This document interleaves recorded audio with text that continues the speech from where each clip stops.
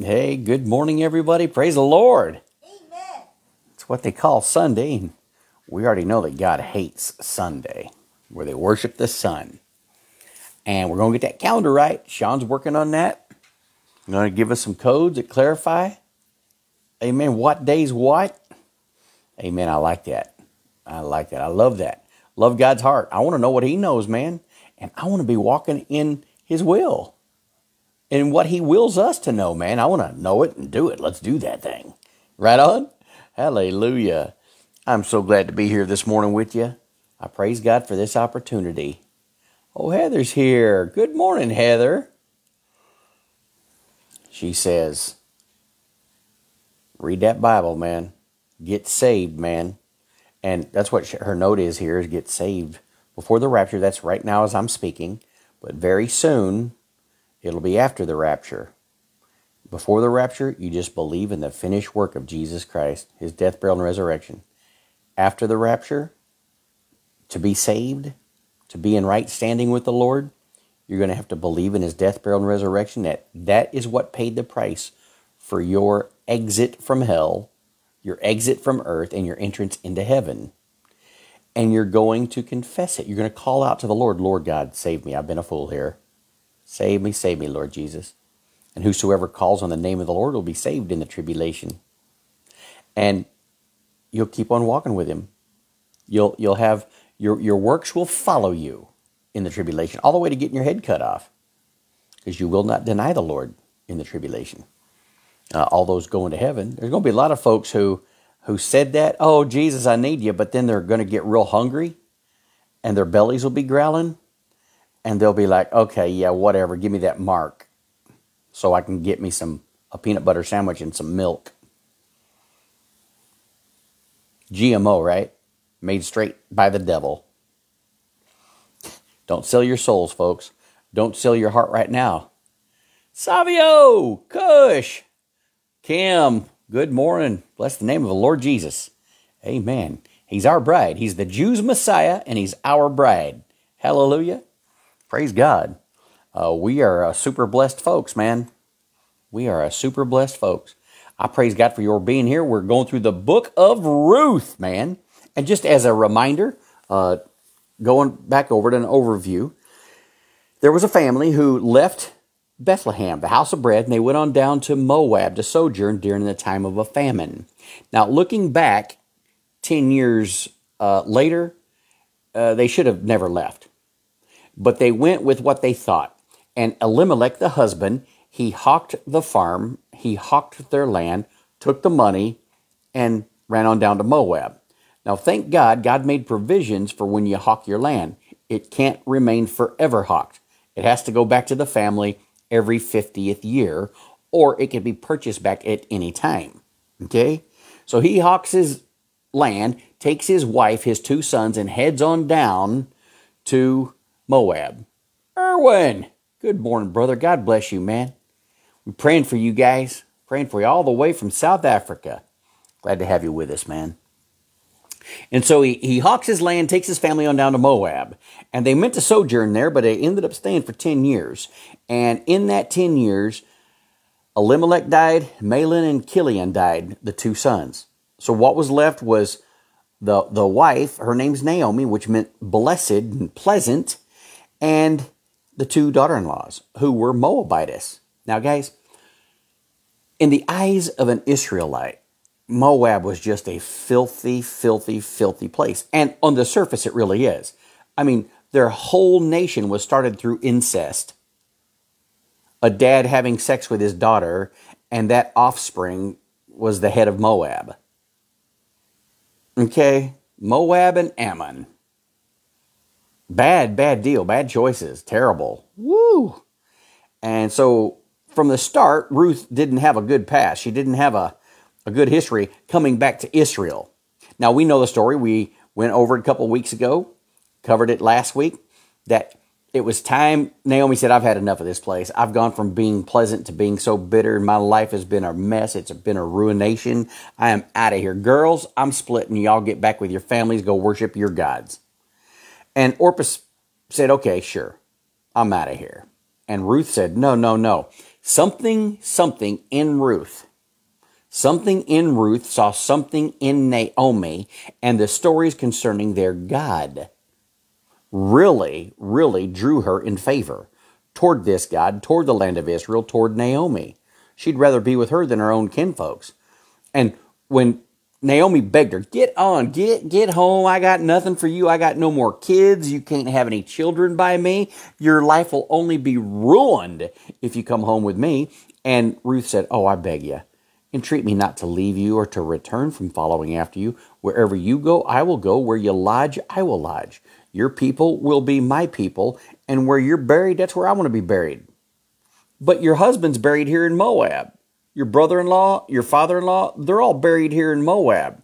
Your mom and dad, your great grandparents, they'll be buried here in Moab. She goes, I, I, No, I want to be buried with you, Naomi. Wherever you go and lodge, your people, that's where I want to be.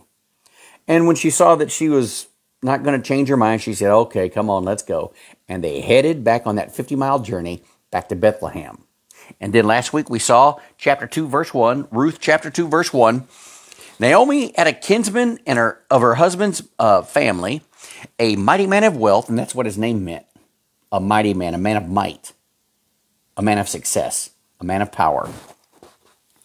Unlike Donald Trump, guys, I, I cannot understand how godly people follow this guy. He built Atlantic City with the mafiosos. And he's never repented of it. He doesn't think he's ever sinned use their money, their rebar, their concrete. And there's a whole lot of evil up in that. That's just a start. And then all the whores and all the gangsters that would come to the Taj Mahal and the other places there at Atlantic City. Evil, wickedness, man. And people embracing this guy as he's a good guy. It's time to learn what a good guy is in the eyes of God. And Boaz was a good guy. He was a man of might. Uh, but Trump is a man of might. He's a man of wealth. He's got a name going ahead. He puts his name on everything. Trump this, Trump that, Trump. You better go with Boaz on this one. Okay? And then Satan took his wonderful, awesome name and has made it one of the two major pillars of the Freemasons. Every Freemason lodge has a pillar and a pillar. One is named Boaz and the other Joktan.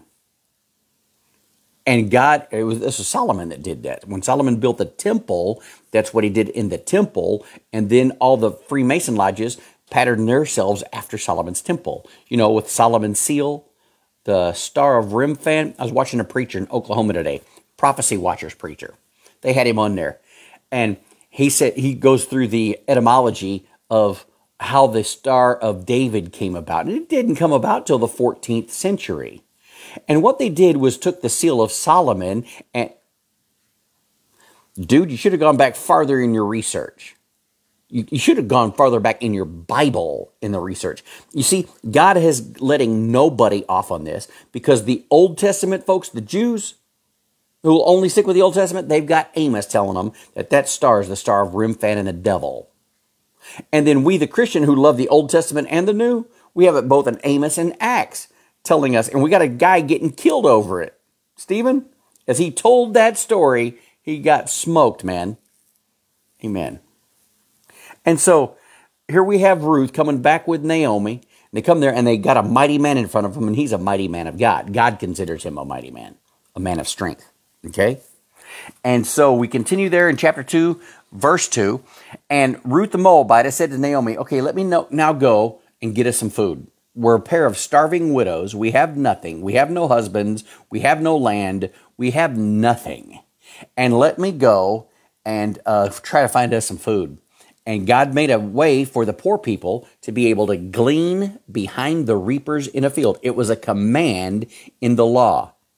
God takes care of the poor. He loves the poor and needy. He loves widows.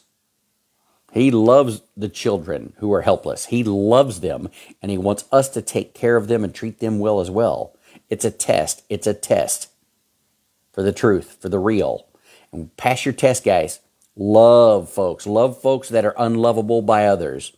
Love the outcast. Love the degenerate who can't help themselves. The people who are just downtrodden. Help them, love them, especially pray for them. Uh, many of us in this world, we're getting downtrodden ourselves. We're, we're becoming part of their caste system and in their class. And we just ain't got a ton of money. We're like the disciples who didn't have money to help. Lord, guys, give me some money. Say, give me some money. Oh, alms for the poor, alms for the poor. And they're like, yeah, we're part of that group too. Um, we have the name of Jesus. Would you like to walk? Yeah, sure. In the name of Jesus of Nazareth, rise up and walk. And that's what we have. We take the name of Jesus with us and the Spirit of Jesus, the fruit of the Spirit of Jesus in us. And we have what nobody else has in the world outside of Jesus. And we have an awful lot to give. And it doesn't always mean mammon and in the monetary sense. And people are looking for somebody to love them. People are looking for someone to accept them and bless them into the beloved. And that's what James faced. The brother of Jesus, half brother of Jesus, faced two groups of people in the church, the rich and the poor. And the rich would say, You sit down there over there. You don't belong over here in our section. Oh, God hates that with a passion, man. Because at the Calvary, at Calvary's cross, we all have the same level. We all have the same location, and God sees us all right there at the level, level spot of Calvary's cross. And we ought to see each other like that as well. And so here's these two poor little uh, widows, man. You got no help, no, no, nothing. And Ruth, we see her attitude, we see her character in all this. I'm going to go take care of us. I've got the strength. We don't know how old Naomi was. We know that she nursed the baby that comes later. Okay? And I don't know what all that involves, but we know that she nursed the baby, her own baby. You see, all of this, Ruth, we, we see her love, her love, her love, her love, her love through this whole thing. And by the time we, those of us that know the story, we know that she and Boaz finally end up marrying and having a baby called Obed. Do you know that that baby didn't belong to either Boaz or Ruth? That was Naomi's baby. She did all this for love for Naomi so she could have a name after her for the deceased. And so did Boaz. Love, love, love. This was in her heart. And what we see her right at the beginning, after she had shown her love and said, I'm leaving my family and I'm going to go with you. I'm going to go with your God. I'm going to be buried where you're buried. I'm going to lodge where you're lodging. We see her there where she's lodging, and I don't know where that is. is in a tent? Do, do they have a, a homeless section there? I, I don't know where they are. But she says, I'm going to go get us some food. And she gets up, Ruth, Ruth gets up, and she asks Naomi, Is it okay if I go do this? And Naomi said, Go. She didn't even send her with the blessing of the Lord. She didn't say, God bless you. Let's pray about this. None of, none of that. She said, Go ahead, man. I'm starving. Go get. And what do we see here? Verse 2. We're in Ruth 2 2. And Ruth the Moabitess said unto Naomi, Oh, let me now go to the field and glean ears of corn, barley. We know that's to be barley. After him whose sight I shall find grace. And she said unto her, Okay, go. Sounds great.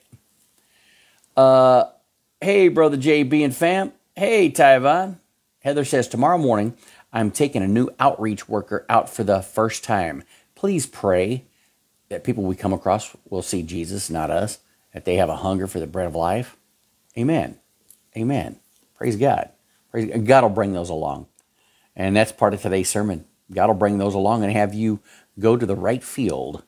You'll be in the right field. Praise God. Be, remember to be praying for Heather, guys. And she said, I'm going to go find somebody that, that'll let me glean behind the gleaners. And that's what Jesus had in the law.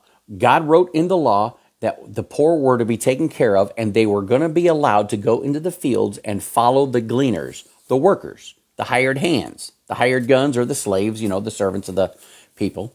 And what was going to be for the poor people is whatever was dropped. Whatever, and the rule was if you drop something on the ground, don't you dare pick it up, reapers. You leave that for the gleaners, the, the poor people behind you. That's all the food they get. So they're waiting for you to drop something. And it would be a little stalk here, a little stalk of barley there, here and there. And as soon as the poor saw it, man, they grab grab a hold of it, and it was theirs. It was a gift from God. Okay, and so that's what she was doing. She was going out there in the faith of Naomi's God, which is now her God, saying, "And my God shall supply all my need according to His riches and glory by Christ Jesus." And I'm just looking for a man in whose eyes I'll find grace, and He'll let me glean behind His gleaners. He'll let me, as a poor woman, a widow, walk and work behind his hired guns.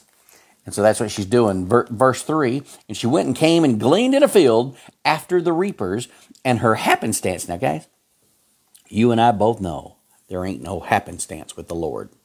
You don't just happen to do things, and God's like, oh, my, who's this in my field over here? Okay, so, so she just happened this way, and so now how are we going to deal with her?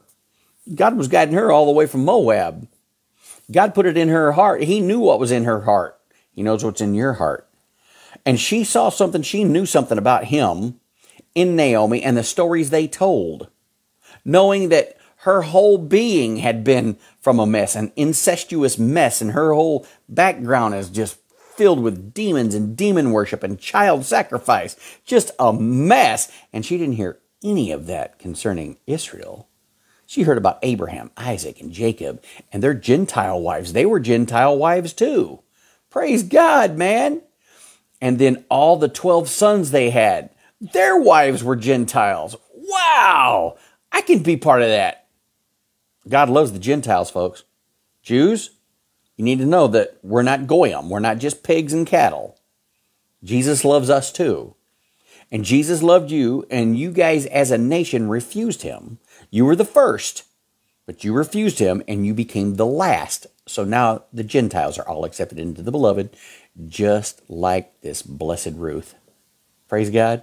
Aren't you thankful that he reached out to all of us? He allowed us all in. He didn't look at our background, he didn't look at our pedigree.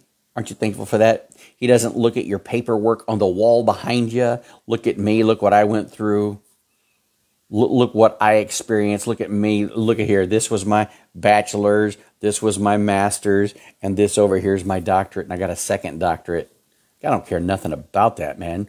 He's looking at your heart concerning himself, concerning your faith in what he has said in his word. Know his word, hide his word, share his word. That's why we encourage you to read 10 to 20 chapters every day.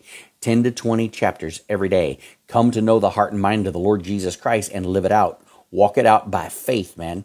And she happened to land in this guy's field. She didn't happen to do anything. God directed her there. God put it in her heart, get up and go. God puts things in your heart daily, even as a believer. Now, you have the option to whether you're going to get up and go or just sit there at the house. Don't sit there at the house. When it's time for the kings to go to war, you go to war, buddy. Don't you stay at the house and find you a Bathsheba. Uh, sin lieth at the door when we're unwilling to walk with the Lord. There's no happenstance. There's no happenstance. It, it just happened to be. Mm-mm. It's leadership of the Lord. Follow His leadership. If He's if He's encouraging you to go out the door and go do something, go do it. There's a plan. There's a will. God has a way, man. And where His will is, there is a way. He always makes a way where His desire is for you. There's no happenstance in your life. Now, here's what we find out through this whole process, okay? We got Ruth, and she's had some bad, bad situations. We got Naomi. She's had some bad, bad, rough times, man. Okay? So Naomi went from being pleasant to being bitter through her bad times. Naomi, she saw the power of the Lord. She saw God's goodness. She saw his grace. She said, I'm going to go find other people in whose eyes I can find grace. I'm going to, and she looked at the God side of things. I want to encourage you to look at the God side of things. Know his Bible, believe every word of it. You to have him be your blessed hope. You walk in faith concerning him. Uh, these three faith, hope, and charity. The greatest of these is charity. But you got to have some faith, hope there too, man. Have faith in the Lord. Have hope in His, His truth, guys. We have a blessed hope in the rapture. Okay? You guys know that on Resurrection Sunday, June 8th, is exactly two months from the eclipse. God's marking this thing out. He's walking us along. Pay attention to Him. Don't just happen to, you know, exist, coexist, all that jazz. You walk with the Lord and know there's a purpose, a will, and a way. You walk alongside Him in the Word and you listen to his voice, you listen to his G, you listen to his ha, and we're, if we're going to turn right, turn right. If we're going to turn left, you turn left. You just stay there in the yoke with the Lord Jesus Christ and let him lead. Lead on, O King eternal. Lead on. Lead on. And God wants us to follow his leadership. And so she happens to land in the field of this guy. Verse 3, we're in Ruth 2 3. And her hap was to land in the part of the field belonging to Boaz. Now, they had huge fields and they had land lines. This portion belongs to cousin Vinny. This portion over here belongs to cousin, you know, Ralphie. And this portion, whatever. In the family, it was inherited all the way down. And so they had one field with landlines. And the landline she happened to get into was Boaz. Boaz was the, uh, we don't know how he was related, but he was the family member closest to Elimelech, save one. There was one guy who was a closer relative. You know how you got your cousin and your cousin twice removed, and, you know, my cousin on my mother. Boaz was number two in relationship to Elimelech, Naomi's husband. There was one guy closer, and we're going to see him here in the future. And she happened to be in the field that belonged to Boaz, who was of the kindred of Elimelech. Verse 4 Behold, Boaz came from Bethlehem. Now he came from the city of Bethlehem out to the country, out in the fields that he owned. He was going to check in on his workers. I want you to understand what kind of a guy this guy was. Okay? So he comes in from Bethlehem, verse 4, and he said unto his reapers, Man, the Lord be with you guys. And his reapers looked him in the eyeballs and they said, Well, the Lord bless you too, brother. He brought God to work with him. I worked with many a Christian who you had no clue they were Christian while you were working with them. They wouldn't bless you, they wouldn't encourage you, they wouldn't bring the Lord Jesus Christ into any conversation. And here's Boaz, the richest guy in town, who's got his hired guns. And when he walks on him, he says, Man, more than anything, I want the Lord Jesus Christ to bless you and his favor to shine on you. And they looked at him with genuine smiles because they knew his heart. They knew how he had treated them last year and the year before. These were probably of the people who, when they hawked themselves as bond slaves to be his workers. Uh, Boaz, uh, my my family, we're, we're in dire straits. We're about to lose our house. I'd like to be your servant for the next seven years, okay? And I'd like you to purchase my land so we don't lose it. And they would hawk themselves as servants into the family. I could see these guys being the ones who said, you know what, I don't want to leave. After seven years, they, they were allowed to leave and be set free from that and there's a lot of people called bond slaves, and they would love their owner. They would love their master. They would love their boss. And they're like, I ain't going nowhere. I want to stay right here. And I believe these people were of that ilk because Boaz was of that ilk. Boaz showed up from his hometown there in Bethlehem and he went out to the fields to meet with the reapers. And he said, Guys, God bless you, man. Praise the Lord. Probably gave him a big old hug. Probably loved on him. These are my workers, man. I'm going to take care of my workers. And we know that he did. And he took care of them and he blessed them in the Lord and they blessed him right back. He wasn't a taskmaster. He, he didn't have the whip out like Pharaoh's bunch. Just before all of this was, we had the book of Exodus. And these people are the remnant who had come out of Egypt through that Exodus, and now we're in the time of the judges when they had no king, and every man did that which was right in his own eyes. And this guy, being rich and having money, he could have chosen to be a bad guy and a ruler and a mafioso and to control the whole town of Bethlehem and the fields outside.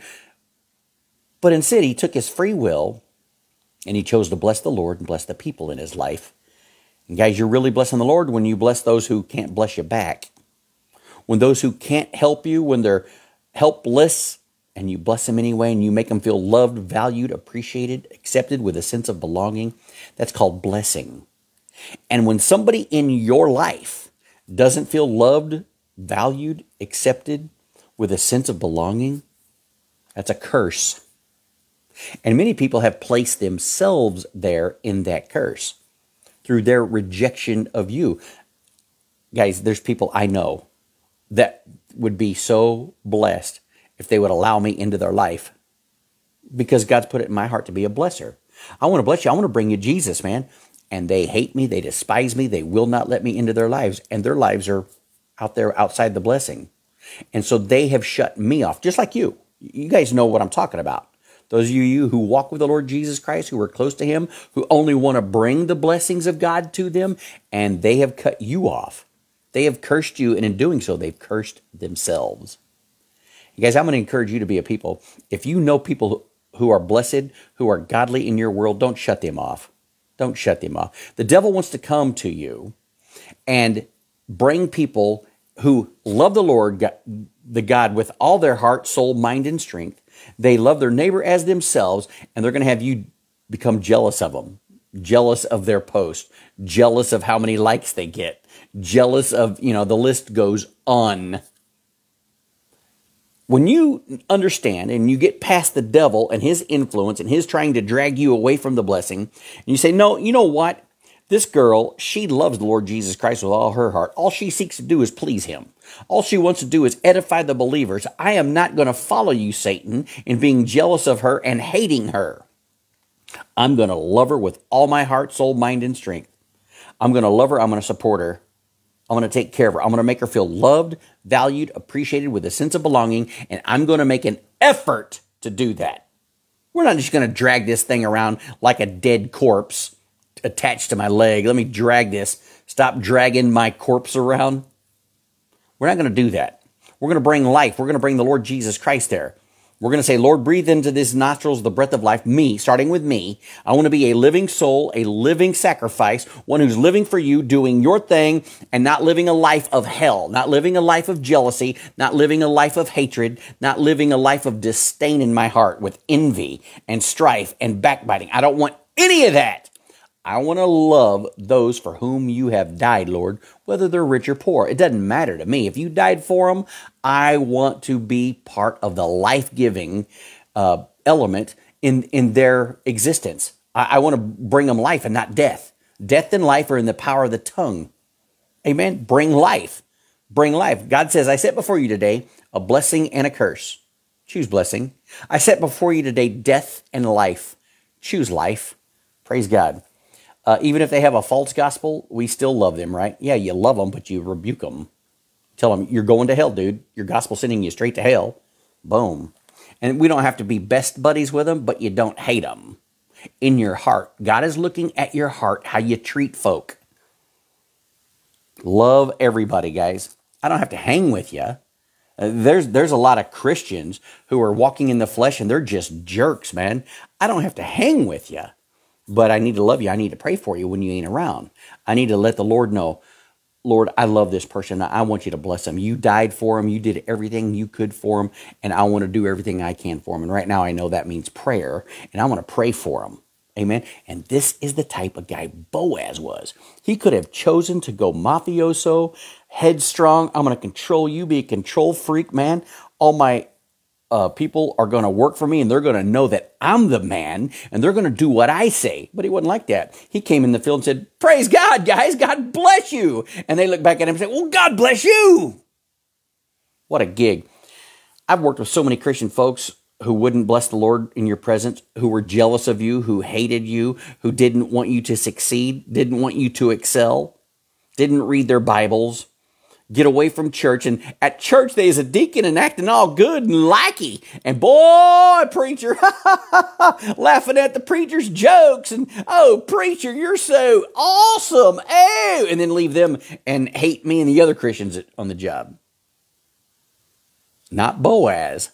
Boaz was the same, just like his Lord yesterday, today, and forever.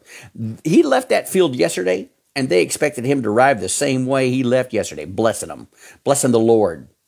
I will bless the Lord at all times. His praise shall continually be in my mouth. Oh, come praise the Lord with me, man. God bless you guys. God bless you, boss. Praise the Lord. And these were the kind of people, because he was the kind of boss, who probably didn't want to leave after their seven years was up. Can I keep working for you? I, I love working in the field for you. I'd rather have you as my boss than some other dum dum. They had that choice. Boaz had that choice. What kind of a believer am I going to be today? How am I going to represent heaven today? How am I going to represent the Lamb of Bethlehem today? You got that choice, folks. When you go out in your field, when you go to work on Tuesday here in the USA, we, we have Memorial Weekend. And so most places are closed on Monday. And when you go back to work and you meet your people, what are they going to find? Why don't they find a Boaz? Why don't they find somebody who loves the Lord with all their heart, who treats people well, who is going to, we see here in a second, treat the widows well? Okay? He happens there, he sees his people, and then he goes, Who's that young lady? What, what's going on there? Let's follow along in the scriptures. Ruth 2, verse 4. And behold, Boaz, he came in from Bethlehem and said to the reapers, Oh man, the Lord be with you guys. And they answered him, Well, the Lord bless you. Verse 5. Then said Boaz unto his servant that was set over his foreman. He had a servant who was the lead man. And so he's talking to him about the day's accomplishments and everything what's going on. And verse 5 Boaz said unto that servant, the, the foreman, the head dude that was set over the reapers, uh, Who does this damsel belong to? Who, who is this young lady? Uh, who's, who's her parents? What, what's her story? Verse 6 And the servant that was set over the reapers, the foreman, answered and said, Well, this is the Moabitish damsel that came back with Naomi out of the country of Moab. Everybody knew the story. I mean, Bethlehem, it's a small town, it's a small area. Everybody knew everybody. She, Naomi, had been in Bethlehem. That was her life, her whole life, except for the last 10 years. And so they all knew her. She got cousins and aunts and family. Remember Jesus? When he was inside Mary's belly, they had to leave all the way from Nazareth and come down to Bethlehem because they were of the house and lineage of David. All the family got together during that census. Remember when the king made the census and all the, when all Caesar made the census and all the world went to be taxed and Joseph and Mary went to their own town because they were the house and lineage of David. They had to all go back to Bethlehem and they would meet up with their families. I mean, every year, three times a year, they would go down and celebrate these three feasts and they would join family from down that way. And they were of that house. Everybody knew everybody's business. Everybody knew the story. Hey, how you doing? They would catch up. And so the story flamed across the whole little area here, Bethlehem and the outer skirts of Bethlehem, that Naomi came back empty except for this young Moabitish woman. And she wasn't, guys, and you can't consider her a regular Moabite, they would say. She, she's chosen Jesus. She's chosen Jehovah. She, she wants God's ways. She don't want any ways of the Moabites. She left her family. She left her dead husband laying in a grave back there. And she said, I'm going to the land of the living. And she's chosen Jesus. So everybody knew the story, though not everybody had met her face to face yet.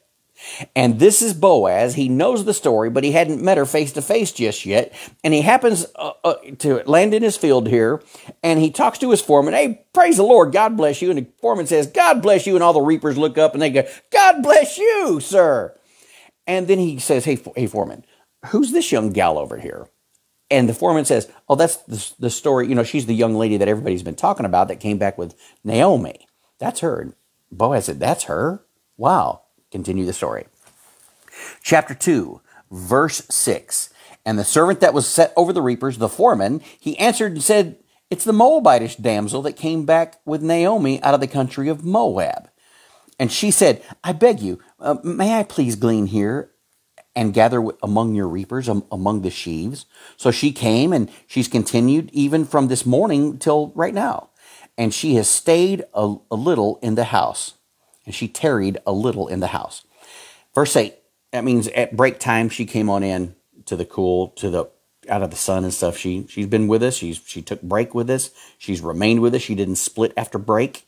She's still here working. Verse 8. Then said Boaz to Ruth, uh, Hearest thou not, my daughter? Go. I don't want you to go to anybody else's field. You're welcome right here. You can come here as often as you need to come. We have plenty. And uh, I just want to say, the Lord bless you too. Not just the locals, not just the people that he knew. I bless you. Have you ever been in a church like that? The cliques, where they all like each other and kind of you're left out somehow and you don't feel loved and valued, appreciated with a sense of belonging. Now, Boaz. He included everybody. And he said, Oh, you're little Ruth. You're the one that has chosen Jesus Christ, a new convert well, let me take you under my wing and let you know how we do things here in Jesusville. We look after each other.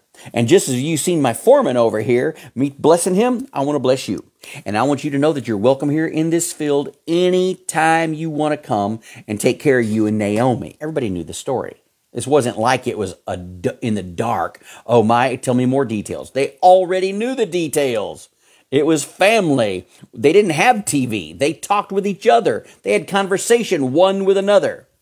Heather says Boaz had integrity. Tuma, it's number 8538. He was the same in righteousness when no one was looking. Kinsman Redeemer. He's the picture of Jesus. Is that why God chose him to bring Jesus about? Cut the story short. It was because of Ruth and Boaz getting together and having this baby called Obed. And you'll never hear reference back to Obed. You always see it, the story starting with Jesse, the stem of Jesse, the root of Jesse, the rod of Jesse. Why? Because Obed belonged to Naomi. That was the baby they had for her. So she could have a son that she lost. And she could have her joy back of having a baby. That was they did all of that out of love for her. Then the grandsons and everybody came along, and that was considered of Ruth. Obed beget Jesse. Jesse beget David, right? Obed, Jesse, David. Mm-hmm. Then all the other sons of David. And the one of most importance is Nathan. And nobody knows about him. Oh, we know Solomon and Absalom, and, you know, the, the list goes on. But what about Nathan? We don't know one thing about him except his name shows up in a lineage of Jesus Christ, physical, through Mary. Pretty cool.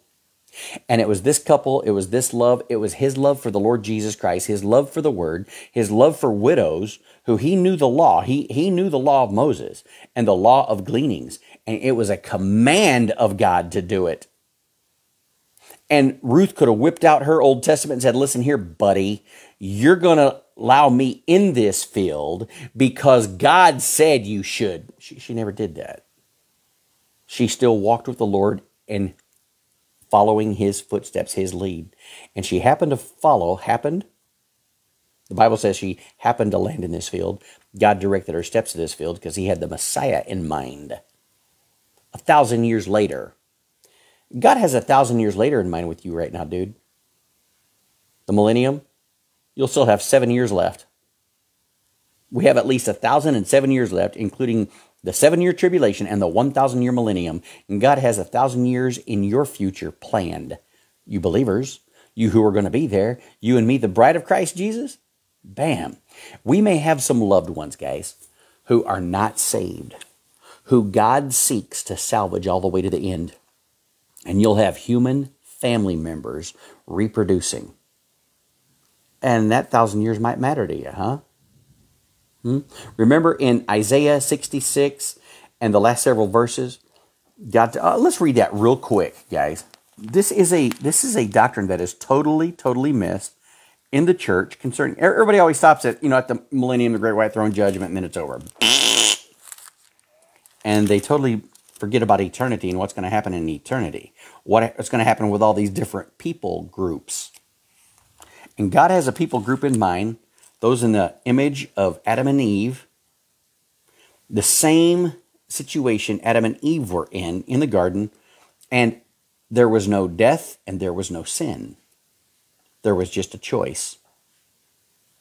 And God's going to do that, but He's going to give him a wonderful incentive of hell. Let's read Isaiah 66 and the last, start with 21. And I will also take of them for priest and Levite, saith the Lord. For as the new heavens and new earth which I will make, that's after the millennium. The new heavens and new earth happen after the millennium. Which I will make will remain before me, saith the Lord. So shall your seed remain and your name remain because the meek shall inherit the earth. Don't ever forget that doctrine and what it's talking about. The meek shall inherit the earth, and it's going to be these meek who survived the millennium as human beings, and they kept Jesus as their king. They believed in him. They didn't rebel against him when Satan came and wanted the whole world to rebel. And there's going to be a batch of them who rebel against God, and they're going to be judged and thrown into the eternal lake of fire. Everybody who died in Christ during that 1,000 years are going to, uh, you know, find out their assignments and everything for eternity. But then there's a bunch of humans who just didn't die just yet, and they're still around. And what's God's promise to them? Your name will continue on. You'll have a name there, your seed will remain, and you're going to keep on having babies. You know, there ain't going to be no overpopulation problem. There's not on Earth, but God's got Mars and Jupiter. What about when He makes those new heavens? Amen. The second heaven, that's going to be renewed as well. There's plenty of room. You ever seen the size of Jupiter and Neptune? Plenty of room, folks. Don't ever, don't ever shut God down and what his game plan is, but know the will of God. After there's a new heaven and a new earth, Jesus says, Your name and your seed shall still remain, Israel. He's talking to Israel here. He's talking about the blessedness after they have been cursed, and Jesus, the Messiah, comes back and blesses them. And then after he's made the new heaven and the new earth, after the great white throne judgment, their names and their babies will still continue on. And that's important to know. So a thousand years is important to us right now.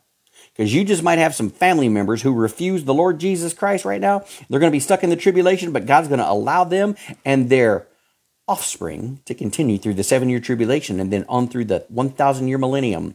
And you need to look ahead. There's no happenstance. You need to walk in wisdom. Boaz did. God did. God knew that this wasn't happenstance that these two are meeting here at this time. Because God has the Messiah in mind, and he knows exactly who he wants to be the parents of this Messiah Boaz and Ruth. But they're just now meeting for the first time. Who is that girl over there? Oh, that, that's the Moabitish woman. She's the one that came back with Naomi. That's her? Everybody in town heard who she was. And now he's meeting her for the very first time. Verse 6 And the servant that was set over all the reapers the foreman, he answered and said, It's the Moabitish damsel that came back with Naomi out of the country of Moab. Verse 7. And she said, I beg you, let me glean after your reapers among the sheaves. So she came and she's continued even from the morning until now, and she even had took break with us there at the house. Verse 8. Then said Boaz straight unto Ruth, the boss man, unto this poor widow woman who is existing because of incest and her gods are devilish, and her gods are murderous, and they demand blood. And he understands that she's, you know, got, gotten saved. She has chosen Jesus, Jehovah, over what she had previously. Then said Boaz unto Ruth, verse 8, Oh, hearest thou not, my daughter? Go not glean and do another field. He said, I want you to hear me clearly. Uh, you're invited here. We want you here. You are welcome here in our field. And he didn't cross the line. He respected her as a widow. We don't know if he had love in his heart right here at first sight or what. But he had put all the numbers together. He considered the family of Elimelech, his near kinsman, and but there was one kinsman closer. And so he probably didn't even expect him to be the one he probably expected the other guy to do it, and but he's meeting her for the first time and finally find, finds out who she is, and he talks to her with great reverential, biblical respect in the eyes of God. God is watching me, and I want to do what God said to do and treat these people well. Remember, you better treat everybody well because some of us have entertained angels and didn't even know it. God's testing us. He's testing your heart. It's all about your thoughts, guys. You get your thoughts right, and your actions will be right. And your thoughts won't be made straight until you start reading your Bible. Because everything about you is drawn to the flesh, drawn to hell, drawn to Satan, drawn to sin, drawn to selfishness. That's your personal bend. And you are bent towards hell, hell bent for leather. Okay? Jesus Christ comes along and changes things, and you read that Bible and you start to think like Jesus Christ. When you think like Jesus Christ, you're persona will be at that of Jesus Christ. And that's what we see here in Boaz, the father of Jesus Christ a thousand years earlier. And there's God looking down a thousand years from now. And to you and me, it's a thousand years plus two, 3,000 years later.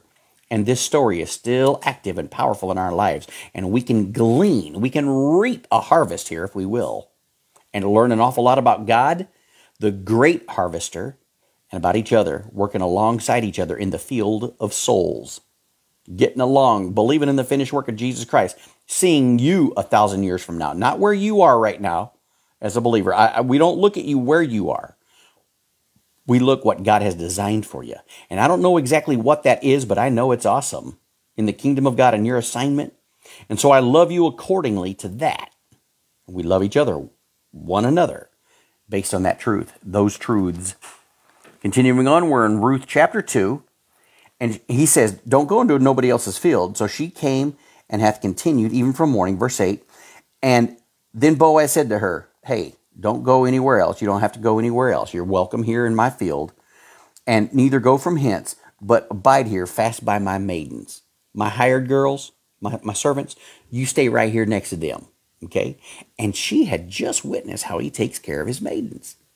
This guy loves his maidens. He, he loves his foreman. He loves the workers in his field. This guy's blessing the Lord giving them a morning blessing, man, in the name of Jesus Christ. They didn't have to walk on eggshells around this guy because he was consistent. Don't be that eggshell idiot. Snapping, moody. How do we find you today? Good night. Get in the Word of God and let us know how we're going to find you, please. Fast track this thing. You ain't got much time left. Two months and a week. That's to our first 50 day count. I surrender all, Lord. God's plan is amazing. Amen. Amen. And so she said, Go, you, stay close to my maidens, man, and they'll take care of you. Verse 9 Oh, let your eyes be upon the field that they do reap, and go not after them. Uh, she goes, Don't go after any other fields. You, you, you just stay right here with us. You stay by my maidens, man, and we'll take care of you. And he says, I've also told the young men not to lay a finger on you and not to lay any eyeballs on you. So you don't have to worry about these guys undressing you while you're working. You don't have to worry about these guys having bad thoughts about you. Christians! Fellas, quit watching your porn and undressing folks, will you? Even now, the ladies do it more so than others, man. All those stupid uh, commercials I get jumping on YouTube. Wicked, wicked women talking, doing the talking. And Boaz looks at this little gal and says, Hey, you stay by my girls, and you'll, you'll see that they're treated so well, and even my guys. They're good, godly men. You just heard them blessing me, and I've commanded them, don't, don't mess with you. Don't give you a hard time. Don't come onto you if you ain't looking for nobody to come onto you. And so you don't have to worry about that in my field. You may in other fields. If you leave this field and go somewhere else, you might have some jealous girls, some jealous maidens, and you might have some boys that have different plans than God has for you. You stay right here, and we're all going to follow the Lord together and do the right thing while we're abiding in this field. That's the kind of a temperature we need to have in the family of God among ourselves, guys. Trust and love and blessed, knowing that God's taking care of us through each other, not I've got to look out for you. In my last 30 years of ministry, you've always had to look out for the fools. You always had to look out for the devils who've crept in unaware and there's people that come praising you. Oh, Johnny boy, I've been looking for you. Your preaching is so amazing. It's not like anybody else's. I'm like, okay, he'll be here less than a year. And that's the way it's always been.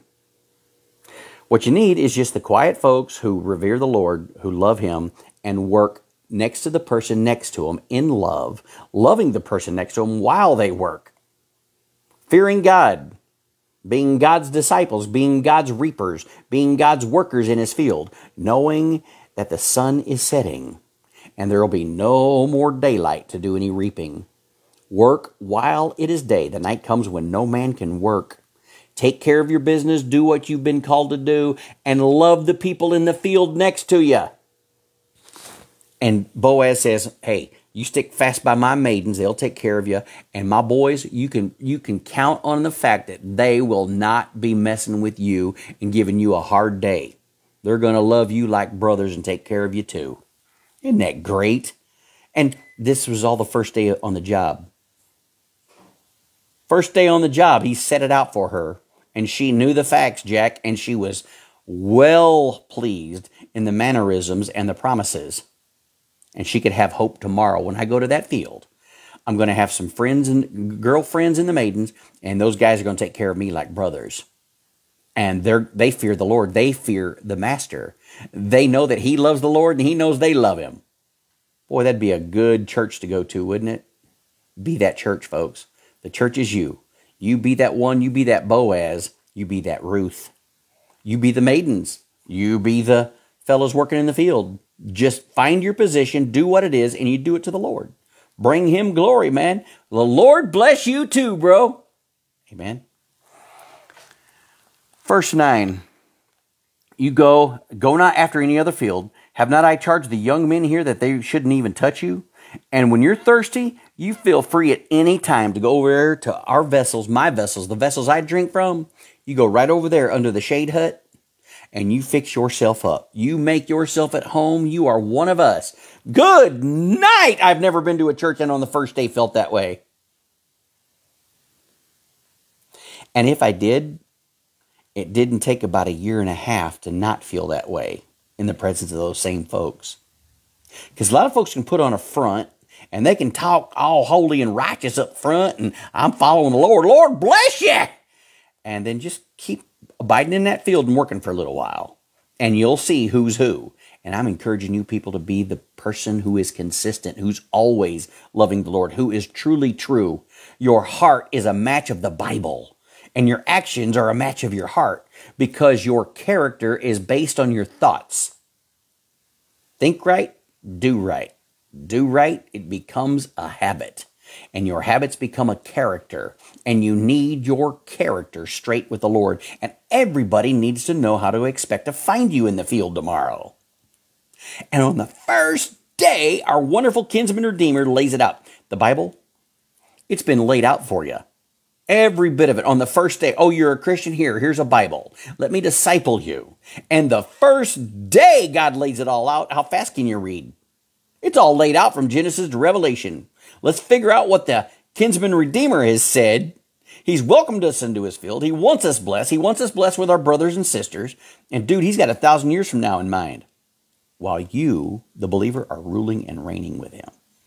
Why don't you have two months ahead in mind and quit living for yourself, your own desires, your own wickedness, your own Satanism, which is self first. Me, me, me, me, me. Why don't you quit doing that and have faith in the blessed hope in about two months and a week from now?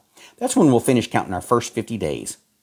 And I got no reason to believe that the Lord ain't going to rapture us in the first 50 days.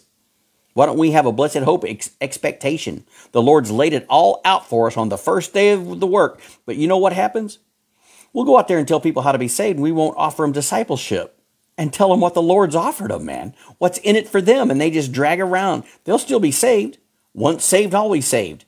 But they won't grow in the Lord. They won't understand His wonderful, beautiful, joyful, I mean, incredibly awesome word and His commands and His heart and His expectations. What a blessing. What a blessing. The guys ain't going to touch you. And when you're thirsty, you get over there and you get you some water and you drink of that which the young men have drawn. You don't even have to draw your own water. I got somebody else doing that. They're drawing the water, they'll get it for you. You just enjoy the water. Our God's good, guys. First day on the job, He's good. He's awesome. You may be that widow, you may be the bottom rung, but your Lord is taking care of you where you are, however you find yourself in that field. The foreman, the young men, the maidens, the water drawers. Just serve the Lord where you are, will you? And quit complaining. Quit, don't, bow, no, no. Woe is me, bow, no, no, no. But look at thee, you got it great, bow, no, no, no. And all I got some hate. Quit that. Love where you are. Love where God, you didn't just happen to be where you are. you need to learn God's heart where you are and then advance. Poor Pleasant, Naomi, she was down there in Moab and it just got worse and worse and worse and worse. She was in the wrong place at the wrong time. She got so far away from the Lord, man, bitterness crept in and she didn't even know how to be better. But now we're in the middle of coming home, and God's changing the story in Naomi's life. The story hadn't changed, but Naomi's going to see it from God's perspective here shortly and not her own. Please, guys, when you look at life from your perspective, it can be bitter, it can be bad. Never do that. You always look at it from the eyes of Scripture, with God looking seven years ahead from now, a thousand years ahead from now, and a millennia plus ahead from now. Trust Him with you. Trust Him with you. Can He trust you with Him? Two and a half months. Are you going to go all out for Jesus in his presence, in his love, in his glory, in his graces, in his mercy, in his character, and have the folks around you know it? And have to walk on eggshells around you? Or, oh man, oh, don't open your mouth, sister, because everything she says is negative. Oh, don't open your mouth. Do people think that about you? Oh, I wish you'd shut up, man. Fewer words, the better. Is that what they think about you? Or do you bring glory and laud and honor to the Lord and to them? God bless you today. This is about you. This ain't about me. Boaz didn't step in the field and say, okay, guys, check me out. I'm great. I'm the richest guy in town. I got some fields. I got some servants. I got maid servants, men servants, water drawers. I got, I got the widows chasing me down. Now, he said, the Lord bless you too. God bless you. God bless you. And it was a real blessing, and the people knew it. His servants didn't want to go anywhere. His servants knew that when he said something, he meant it. Don't touch that girl. Don't you dare touch that girl. They're like, cool, I'm cool with that, man. Boom. And they listened to the master. They listened to the kinsman redeemer. Will you please listen to the word of God? Jesus is our kinsman redeemer. He bought us back from Moab. He bought us back from sin. He bought us back from a graveyard when it looked like we were dead and there was no hope for us. Jesus paid the price for all of us. Now, will you go pay the price for him and be a living sacrifice, holy, acceptable unto him? It's just your reasonable service to be a good person in the eyes of God, to be a godly person, to be a Bible person, to read the Bible and walk it out and make God your everything. That's your reasonable service. The massive majority of Christians will not do this today. They're so busy with celebrating the dead of Babylon Memorial Weekend. They're celebrating those who gave their life, who, who gave themselves as a sacrifice of blood for Satan. And they don't recognize that because they don't know God. They don't know Jeremiah 50 and 51. They don't know Hosea. They don't know who Ephraim is and God's hatred for us here in the USA. They're out there just praising the Lord and having a good time. Oh, thank God. And right after they pray for their meal, if they prayed for their meal, he's totally forgotten and not even in any of their thoughts. But not Boaz. First thing come out of his mouth was the blessing of the Lord Jesus Christ in the ears of everybody around him. And they blessed him back. It was the first thing in their hearts. He trained them well. He discipled them well. And it was blessing, blessing, blessing. Even the water drawers were blessed. And they were loving to be able to provide Ruth with some water. Verse 10. And the young men have drawn, verse 10, and she fell on her face in humility and bowed herself to the ground and said unto him, Why are you so nice to me? I have never known anybody in my life to be this nice to me. Why have I found grace in your eyes? Now, guys, the Bible commanded him to allow all this to happen. She could have said, Yep, okay, yeah, God said so, so that's the way we're going to do this thing. And she wasn't looking for trouble like Naomi and didn't see all the bad. She was wondering, Why are you so nice? Why are you so gracious? Why are you so kind to me? Why have I found favor in your eyeballs? Didn't she say to her mother in law that she was going to go out until she found a man that in whose eyes she could find grace? Praise God. He, she happened upon this guy's field. God was at work. Do not hate it when something goes wrong in your life when you're walking with Jesus. You got to understand that He's about to work it all together for good to those that love Him. Who loves Him? Those that love His Word. love his word, listen to his word, and you praise him no matter what. Do not complain. Do not be miserable. Do not let bitterness, envy, strife, jealousies pour forth out of your mouth and your heart. But let everything in your heart be replaced with the word of God, the love of God, the fruit of the Spirit. And let that come out of your life and let everybody know it. The Lord bless you this morning. The Lord bless you, Mr. Boaz. And she said, falling on her face in humility, Why have I found grace in your eyes that you should take knowledge of me, seeing I'm a stranger? And he answered. Now, guys, that word answered is he uh, turned his voice up just a little bit in volume, as in, I want everybody to hear this answer. He raised his voice.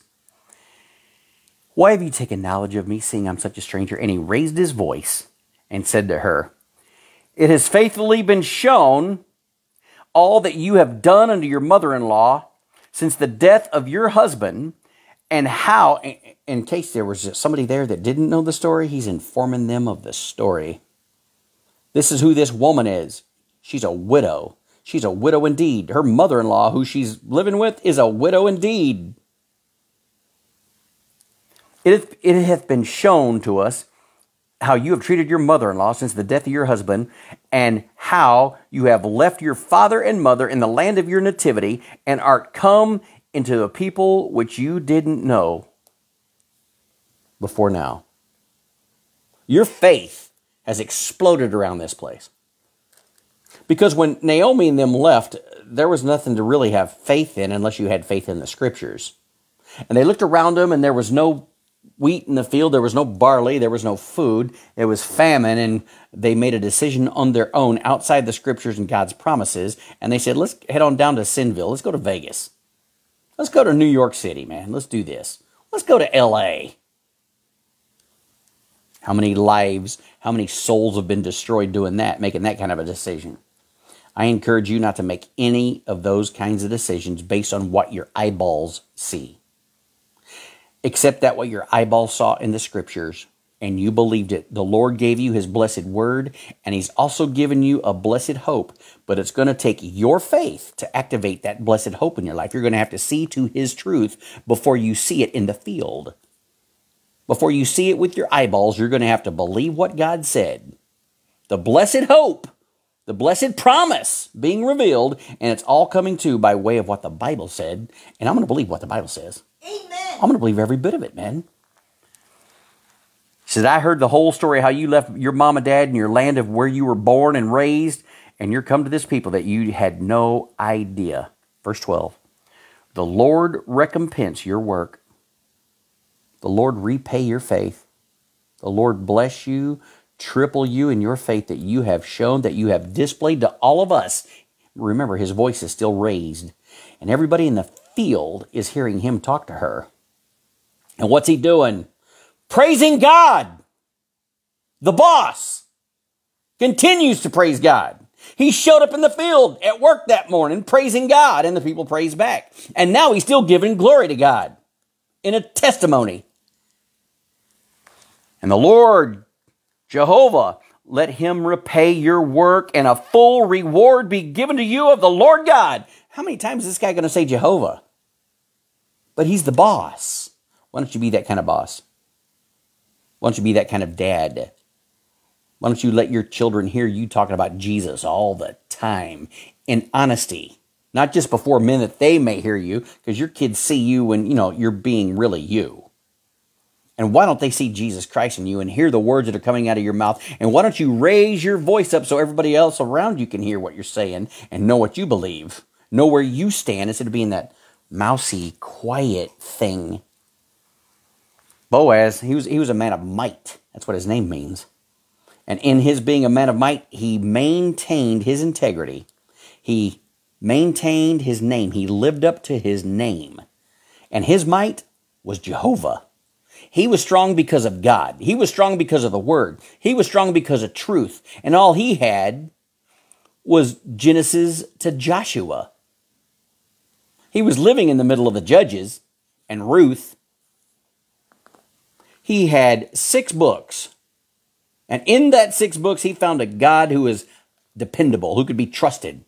and who he wasn't afraid to follow and yell across the field his name.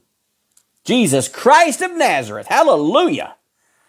And the people believed. And he says, May Jesus Christ pay you back in full reward, and may it be given to you of the Lord God of Israel, under whose wings you have come to trust. Remember Jesus? Oh, Israel, Israel, Jerusalem, Jerusalem.